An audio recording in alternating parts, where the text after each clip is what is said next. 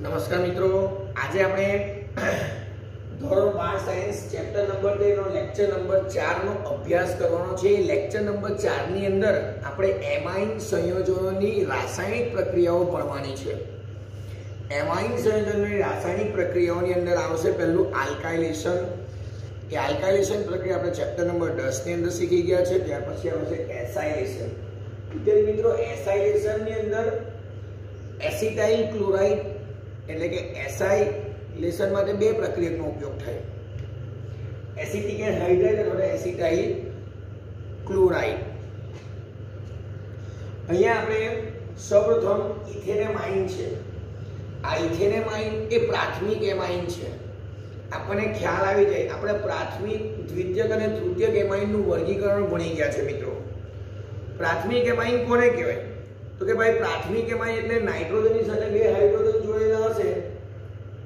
તો એ તમારો પ્રાથમિક એમાઇન હશે એક જ હાઇડ્રોજન જોડાયેલો હોય તો એ થશે દ્વિતીય એમાઇન અને કંઈ જોડાયેલું જ ન હોય તો તૃતીય એમાઇન એટલે કે નાઇટ્રોજન એકલો હોય તો તૃતીય એમાઇન કહેવાય. હવે ધ્યાન આપજો. અહીંયા એસિડાઇલ ક્લોરાઇડની વાત કરીએ મિત્રો, તો અહીંયા આનું નામ છે એસિડાઇલ ક્લોરાઇડ.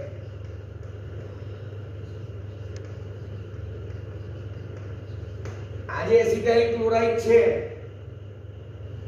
એની બેઝ બેઝ મધ્યમ એટલે કે પિરિડીન જેવા, પિરિડીન કે પિરિમિડીન જેવા બેઝની મધ્યમમાં જ્યારે પ્રક્રિયા કરવામાં આવે છે ત્યારે આ જે નાઇટ્રોજન છે એના જે અબંધકારક ઇલેક્ટ્રોન છે આની ઉપર કાર્બન પેટેટ કરશે, આનો દ્વિબંધ અહીંયા જશે એટલે અહીંયા માઇનસ ચાર્જ આવી ગયો પ્લસ ચાર્જ હવે ધ્યાન આપજો પ્લીઝ અહીંયા સીધું એટલે આ નાઇટ્રોજન, આ હાઇડ્રોજન ઉપર જતો રહેશે, આ નાઇટ્રોજન સાથે આનું કોલોબરેશન થઈ જશે જોઈન્ટ થઈ જશે અહીંયા સી આવશે. હવે શું થશે? આ હાઇડ્રોજન અહીંયા જશે બંધ તૂટી જવાનો. અહીંયા જ્યાં સીએલ એટલે અહીંયા સીએલ જવાનો છે એચ જવાનો એટલે માઇનસ એચસીએલ થવાનો માઇનસ અને આખું જોઈ ગયું આનું નામ છે N ethyl N ethyl ethanamine CL three બે કાર્બન છે એટલે ઇથેન CO NH2 એટલે ઇથેનેમાઇડ અને એની આ ઇથાઇલ એટલે એન ઇથાઇલ ઇથેને. ધ્યાન આપજો મિત્રો, એન ઇથાઇલ ઇથેનેમાઇડ આ રીતની પ્રક્રિયા થશે. આની પછીની પણ પ્રક્રિયા છે, માની લો કે હાઇડ્રોજનની જગ્યાએ ઇથાઇલ હશે, તો N N. N N diethyl ઇથેનેમાઇનની પ્રક્રિયા એસિટાઇલ ક્લોરાઇડ સાથે કરવાની રહેશે. એનની સાથે બે ઇથાઇલ જોડે, તો N N diethyl ethanamine N ethyl ઇથેનેમાઇનની પ્રક્રિયા જો આપણે એસિટાઇલ ક્લોરાઇડ સાથે કરીએ તો સેમ તમને પ્રોડક્ટ મળશે. શું પ્રોડક્ટ મળશે? અહીંયા જેમ એન ઇથાઇલ ઇથેનેમાઇડ મળ્યું, તેમ ત્યાં મળશે એન એન. ડાય ડાઇથાઇલ ઇથેનેમાઇડ આ હાઇડ્રોજનની જગ્યાએ C2H5 આવી જશે એટલે અહીંયા જેમ એન ઇથાઇલ થયું તેમ અહીંયા એન એન N સાથે બે ઇથાઇલ જોડી જશે એટલે N N ડાઇથાઇલ ઇથેનેમાઇડ બનશે. આ ટેક્સ્ટ બુકની તમારી બીજી રિએક્શન છે, જે મેં નથી બતાવી, ફક્ત ને ફક્ત શું કરવાનું છે? અહીંયા હાઇડ્રોજન જગ્યાએ ઇથાઇલ મૂકીશું તો એનું નામ બનશે? એન ઇથાઇલ ઇથેનેમાઇન હવે અહીંયા ધ્યાન આપજો. બેન્ઝોઇલ ક્લોરાઇડ છે બેન્ઝોઇલ ક્લોરાઇડ અહીંયા એક એરોમેટિક એમાઇન આપેલો છે. અહીંયા પ્રાથમિક એમાઇન અહીંયા બેન્ઝ બેન્ઝીને માઇન કેવું અથવા તો એનિલિન કેવું. બોથ આર ઇક્વલ વર્ડ્સ એટલે કે એમિનો બેન્ઝીન કેવું કે પછી બેન્ઝીને માઇન કેવું કે પછી એનિલિન કેવું. બેન્ઝીને માઇન. એની પ્રક્રિયા આપણે એસિડિક એન્ડ હાઇડ્રાઇડ સાથે કરીએ છીએ. બેઝ માધ્યમમાં ધ્યાન આપજો પ્લીઝ. તો અહીંયાથી તૂટી જશે CH3CO અને આ H. એટલે અહીંયા રિમૂવ થશે CH3COOH એસિડિક એસિડ બહાર નીકળશે. જે પણ કોઈ તમે સંયોજન લખો, એની નીચેનું નામ લખવું જરૂરી છે એસિટી એસિડ ત્યાર પછી આ જે આખું તેની સાથે જોડાઈ જશે. એટલે અહીંયા મને C6 H5 N, H, C double bond O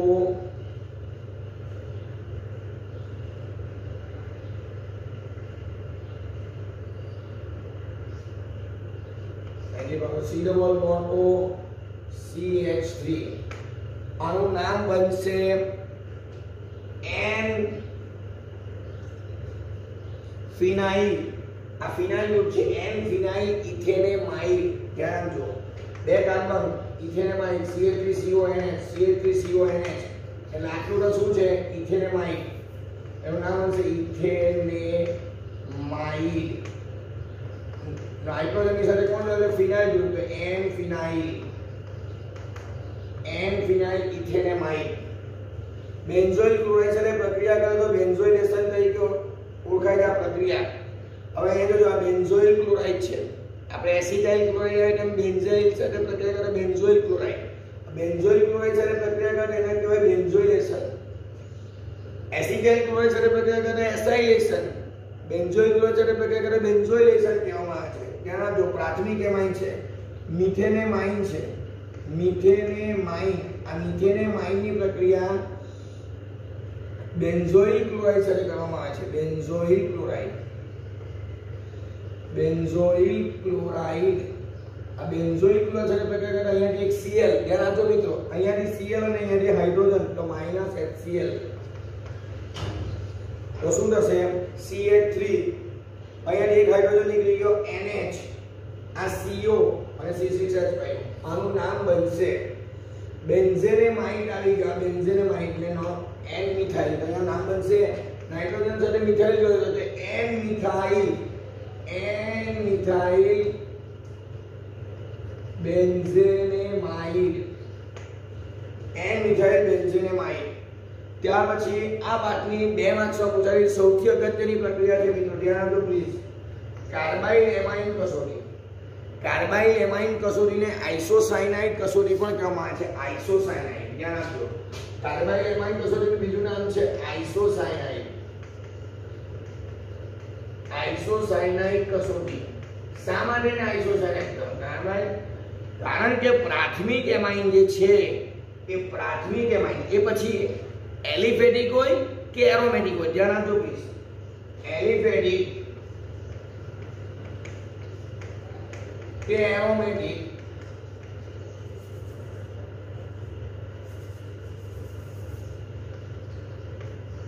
aliphatic કે એરોમેટિક? ગુજરાતીમાં તમારે લખવું હોય તો એલિફેટિક કે એરોમેટિક? પ્રાથમિક એમાઇનની ક્લોરોફોર્મ અને પોટેશિયમ હાઇડ્રોક્સાઇડના ત્રણ મોલ સાથે જ્યારે પ્રક્રિયા કરવામાં આવે છે ત્યારે તેમાંથી આઇસોસાયનાઇન બને છે. અહીંયાથી આર એન અને અહીંયાથી C. R N C CN હોય તો સાયનાઇડ કહેવાય.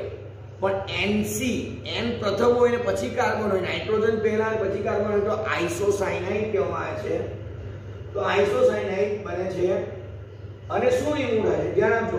ત્રણ કે પોટેશિયમ ત્રણ કે સીએલ ક્લોરીન એટલે અહીંયા લખે ત્રણ મોલ KCl. ત્યાર પછી ધ્યાન આપજો. ત્રણ હાઇડ્રોજન ત્રણ ને એક આ ચાર. ત્રણ હાઇડ્રોજન ત્રણ ને એક ચાર ચાર ને બે, છ. છ હાઇડ્રોજન અને ત્રણ ઓક્સિજન. છ હાઇડ્રોજન અને ત્રણ ઓક્સિજન મળીને ત્રણ મોલ પાણીના દૂર થાય. એટલે આ રીતે આઇસોસાયનાઇડ બને છે. વિદ્યાર્થી મિત્રો, એલિફેટિક કે એરોમેટિક પ્રાથમિક એમાઇન યાદ રાખજો એલિફેટિક કે એરોમેટિક, પ્રાથમિક એમાઇનની આ એક વિશિષ્ટતા છે. પ્રાથમિક એમાઇનની ક્લોરોફોર્મ અને પોટેશિયમ હાઇડ્રોક્સાઇડ સાથે. કોસ્ટિક પોટાશ, જેને સાદી ભાષામાં સામાન્ય નામ કોસ્ટિક પોટાશની સાથે. જ્યારે પ્રક્રિયા કરવામાં આવે ત્યારે આઇસોસાયનાઇડ પ્રોડક્ટ બને છે એટલે કાર્બાઇલ એમાઇન કસોટીના બીજે આઇસોસાયનાઇડ કસોટીના નામથી પણ ઓળખવામાં આવે છે.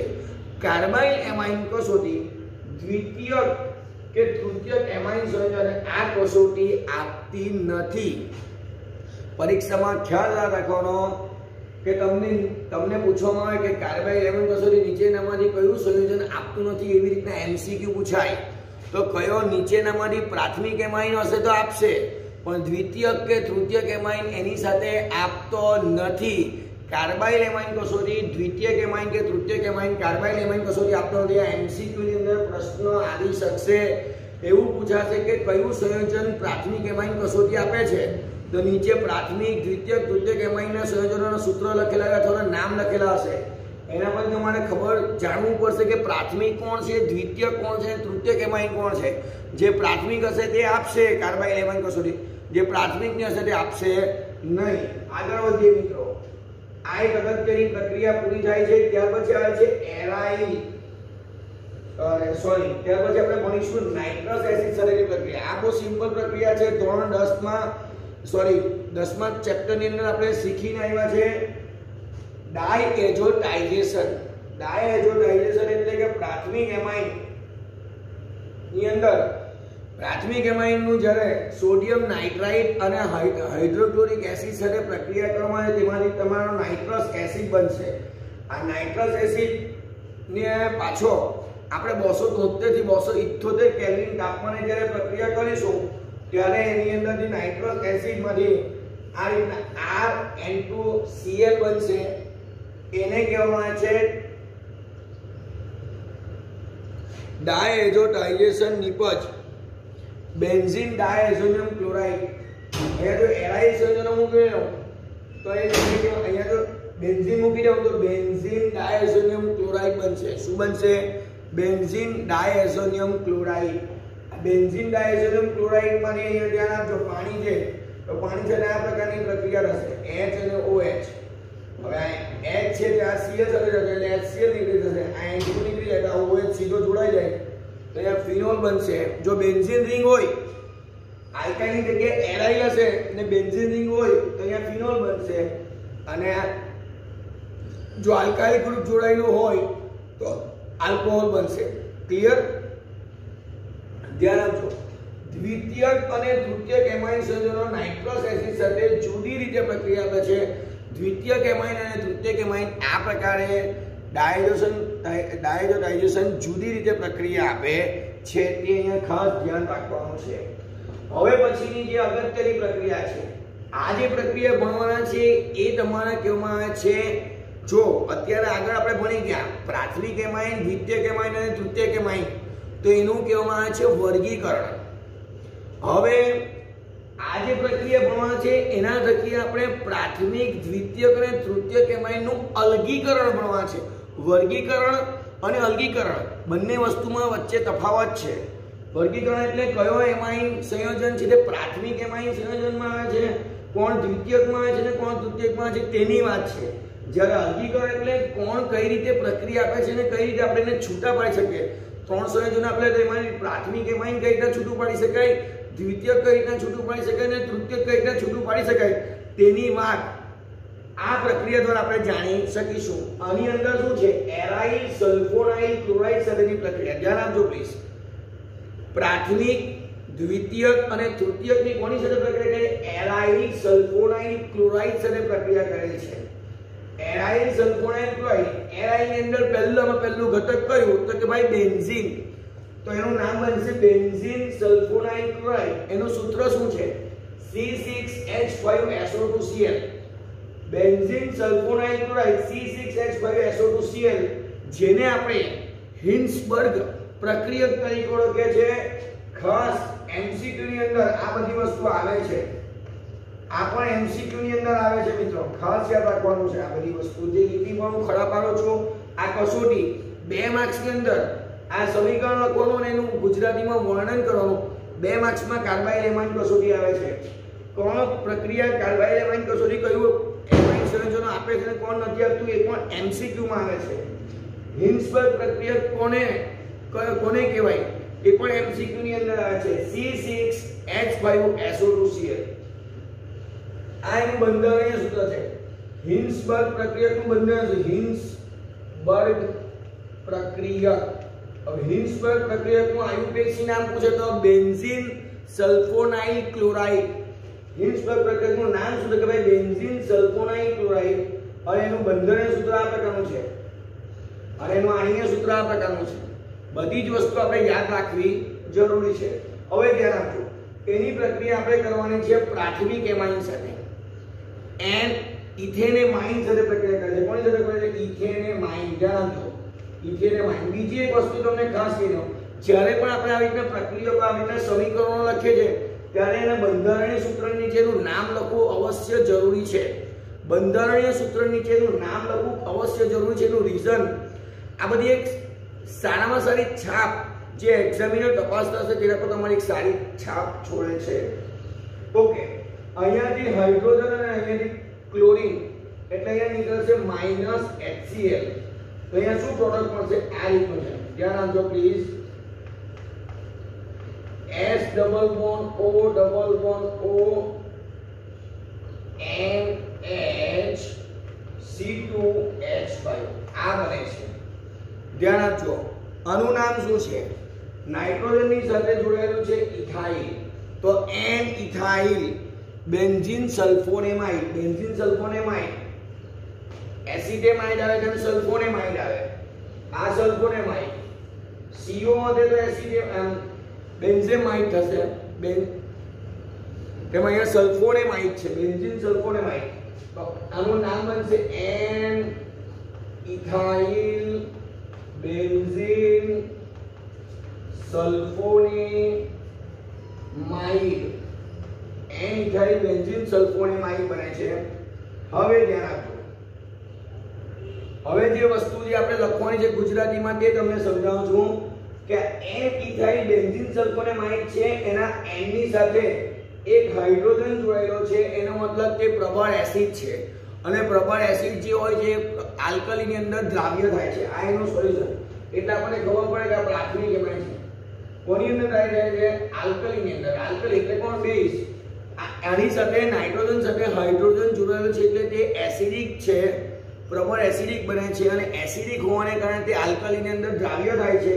અને આલ્કલીની અંદર દ્રાવ્ય થવાને કારણે આપણને ખબર પડે છે કે આ પ્રાથમિક એમાઇન છે. હવે નેક્સ્ટ ધ્યાન આપજો. અહીંયાથી પણ આ હાઇડ્રોજન અને આ ક્લોરીન, આનું નામ પણ આપણે બેન્ઝિન સલ્ફોનેટ કહી પણ આનું નામ છે N N diethyl ethanamine N ethyl sorry NN ની પણ N ethyl ethanamine